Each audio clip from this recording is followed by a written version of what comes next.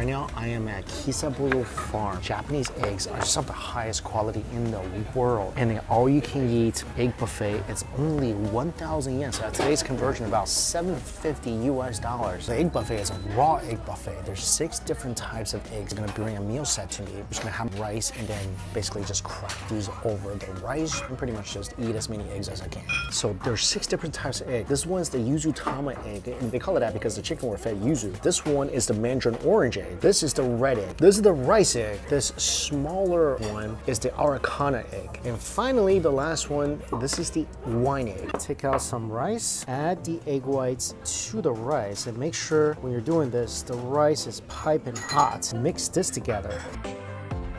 Add some salt, pop it on. Oh, such a good way to eat your eggs.